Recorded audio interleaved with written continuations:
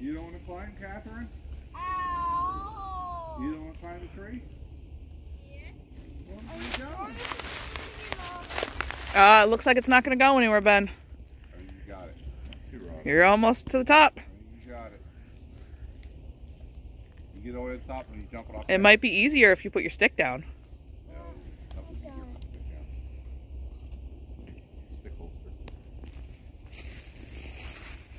Go right through the two, the two trees. Oh, you can go all the way out there. Why not? If you get to the two trees, you can come back around. I'll catch it. This is not okay. Ah. You got it. You're almost there. Straight to the big tree where Nick's fangs on it. That's not a good idea. Okay.